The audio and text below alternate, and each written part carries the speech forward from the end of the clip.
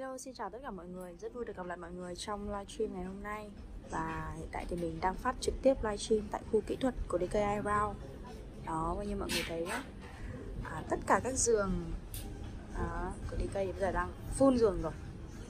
Đó, và lượt khách ra, lượt khách vào từ sáng đến giờ rất là đông. Mặc dù là hôm nay là một ngày à, giữa tuần rất là bình thường thôi. Và nếu như là mà các chị em thường xuyên theo dõi à, uh, DK ở trên fanpage ý, thì à, cũng uh, thường xuyên được xem những clip livestream à, được trực tiếp tại DK cũng biết được là mặc dù đầu tuần hay là cuối tuần thì DK cũng rất là đông khách vì các chị em rất là yêu quý DK ạ. Đó.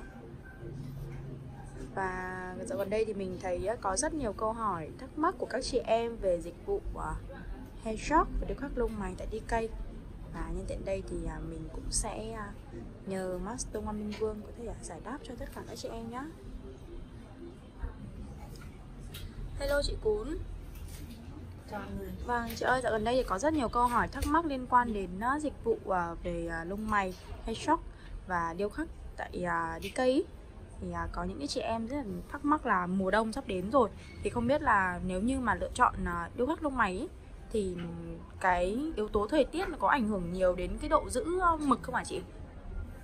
à, yếu tố thời tiết thì nó là một phần bởi vì uh, là thường là nó sẽ không tốt đối với uh, khí hậu mà nó nóng quá thì lỗ chân lông của mình nó sẽ giãn nở nhiều. Vâng, còn với thời trời lạnh thì không có ảnh hưởng gì cả đấy các bạn. Mùa vâng. đông các bạn đi làm lông mày thoải mái. Ví dụ như là da những chị em mà khô quá khô trong mùa đông ấy mà bị nẻ á thì nó có ảnh hưởng nhiều không ạ?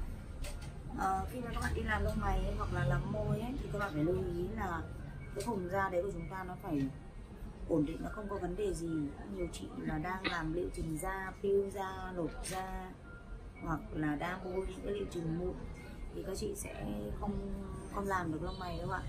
Thứ hai nữa là khi mà các chị muốn làm môi thì các chị phải lưu ý là môi của chúng ta không được nứt nẻ rất sẹo chúng ta không được bị nhiệt mồm vì những bởi vì những yếu tố đấy nó sẽ ảnh hưởng đến quá trình chúng ta làm môi. Nên là chúng ta cũng sẽ lưu ý là mình à, à giữ gìn cho mày và môi của chúng ta để đến lúc mà chúng đi làm nó sẽ đạt hiệu quả cao nhất nhé. Vâng. Đó là những chị em mà đang băn khoăn về à, thời tiết cũng như là về khí hậu ấy mà ảnh hưởng đến việc làm đẹp của mình thì các chị em có thể tham khảo. Nói chung là mình nghĩ là cũng không quá là ảnh hưởng vì thứ nhất là cái độ giữ mực ấy nó không cái yếu tố thời tiết khí hậu nó chỉ là một phần nhỏ thôi. Cái quan trọng là cái tay nghề của chuyên gia. tức là, là nó sẽ có rất nhiều yếu tố để ảnh hưởng đến việc chơi mực lâu hay nhanh hay giữ mực như nào ừ, đầu tiên là các bạn phải nhớ là chúng ta phải lưu ý đến cái da của chúng ta đầu tiên da chúng ta càng dầu ấy thì độ giữ mực của chúng ta càng ít hơn thứ hai là độ mỏng của da Đấy, có những người mà da không dầu nhưng mà da lại rất mỏng. Tức cơ địa người ta rất là mỏng. Đấy thì nó cũng không giữ được lâu hơn bởi vì chúng ta không được đi quá sâu. Đi sâu nó sẽ sẹo chúng ta chỉ được đi trên bề mặt da thôi. Thì như thế thì nó cũng sẽ trôi màu nhanh hơn. Ngoài ra thì có những yếu tố như là à, yếu tố về thời tiết. Với những cái vùng thời tiết mà nóng ẩm như Việt Nam mình thì cái giữ mực nó cái kém hơn so với những cái vùng mà lạnh xứ lạnh. Đó. Bởi vì cái da của chúng ta nó giãn nở liên tục mà. Thứ tư là những cái yếu tố về đặc thù về um, cách bảo quản cơ địa. Nhiều lúc rồi các chị làm xong các chị đi tắm rồi các chị đi uh, ngủ các chị nằm quệt ra quệt vào rồi nhiều yếu tố. Chúng ta bảo quản không tốt thì nó cũng sẽ ảnh hưởng đến cái việc mà chúng ta giữ mực. Đó.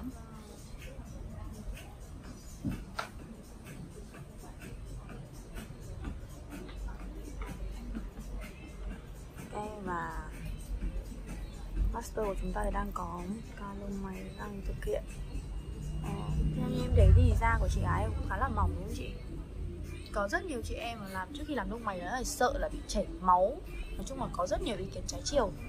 Thì ừm, Thật ra khi Chị chúng ta làm chia sẻ cái này ấy, là tổn thương thì chắc chắn là chúng ta sẽ phải có uh, chảy một chút. Nhưng mà có điều là chúng ta không được làm cho nó tổn thương quá nhiều. Ví dụ có những chị da rất là mỏng thế là cái cái cái cái mạch máu nó ở ngay sát trên da của chúng ta thì chắc chắn nó sẽ có chảy một chút xíu. Nhưng mà làm sao mà cái người chuyên gia là cái người phải có kinh nghiệm để đi trên da của chúng ta làm sao mà nó không bị tổn thương sâu quá sâu. Đó, chúng ta để đi cái lớp thượng bì đầu tiên của da thôi thì như thế thì nó sẽ rất là an toàn. Cái thứ hai là chúng ta phải căn chỉnh làm sao để cho cái, cái mực của chúng ta ấy à, nó đủ ăn màu vào da. Để chúng ta không được phép là làm quá sâu quá đậm. Thì như thế nó sẽ không được tự nhiên. Thứ hai là nếu mà chúng ta khi quá sâu thì nó sẽ bị sẹo. Ừ. Rất nhiều cho khách hàng làm ở nhiều nơi là bị sẹo bởi vì là cái người chuyên gia người ta thấy là da các bạn khó ăn là người ta cố gắng để rạch sâu nhưng mà không được. Quy tắc của chúng ta không được cắt rạch quá sâu chúng ta chỉ được đi trên bề mặt da thôi. Và có rất là nhiều uh, uh, các chị em là đến đi cây là để sửa lông mày và phần lớn là hầu như là đều là uh, đặt niềm tin ở sai chỗ ấy, và không tìm hiểu kỹ trước khi đến làm đẹp và nhất là những cái uh, dịch vụ làm đẹp mà làm trực tiếp lên trên khuôn mặt của mình ấy. Đó nên là cái Sao có thể là người ta đã tìm hiểu rồi. Nhưng có điều là uh, cái kỹ thuật của người của người thợ đó hoặc là cái công nghệ ở thời điểm đó nó không đáp ứng được. Thế cho nên là càng ngày sẽ có càng nhiều những cái công nghệ mới và những kiến thức mới. Và, và quan trọng nữa là cái người thợ là người ta phải có một cái tư duy tốt để người ta có thể xử lý những cái ca lông mày khó. Đấy. để làm những cái cặp lông mày mới là đơn giản nhưng mà để sửa những cặp lông mày kiểu bị uh, hỏng hay là bị lỗi là là một chuyện hoàn toàn khác chị em ạ. Nó đòi hỏi tư duy thì rất là cao theo chúng ta phải giải nhiều bài toán cùng một lúc. Còn đấy lông mày mới thì chúng ta chỉ cần xử lý một bài toán thứ nhất là, làm dáng đẹp làm sợ đẹp thôi. Còn với lông mày sửa thì nào là da chai nào là da sẹo nào là không có lông nào là à, à, còn vết cũ rồi nào là ừ, khung xương rất nhiều yếu tố để chúng ta làm nên cái lông mày đẹp. Cho nên là đòi hỏi cái tay nghề và cái tư duy mình họ rất là nhiều chính vì thế tại sao ở đi cây vẫn chỉ có một mình tôi làm lông mày? Bởi vì cái dáng mày nó đã quyết định đến năm 70 phần trăm thành công của một cái cắt lông mày. Cho nên là cái việc vẽ dáng mày là rất là lớn về vô thẩm mỹ và cái tư duy. Mình thiết kế một cái cái, cái, cái, cái sự phù hợp nó là quan trọng nhất. À, hiện tại thì mình đang uh, quay cận cái cặp lông mày của một vị khách uh, đang được trải nghiệm dịch vụ tại DK bạn ấy bạn làm bạn có thấy đau không? Không đau à, không đau rất là nhẹ nhàng đúng không? Chỉ mất khoảng tầm 10 phút. Thì có học rất là đẹp. Cô dạy rất ấm